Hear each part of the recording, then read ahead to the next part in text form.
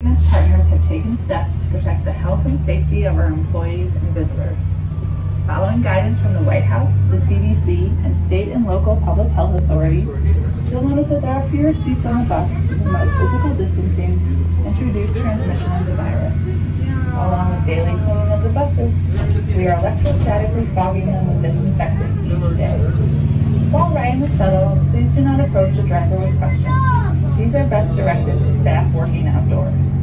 Please wear a mask to protect yourself and others around you. There is no standing or sitting on the floor allowed. Keep your ticket for your return trip. You will need it to reboard the bus up Canyon. Hey, This ticket can only be scanned once at the visitor center, so please don't come out of the canyon until you're positive that your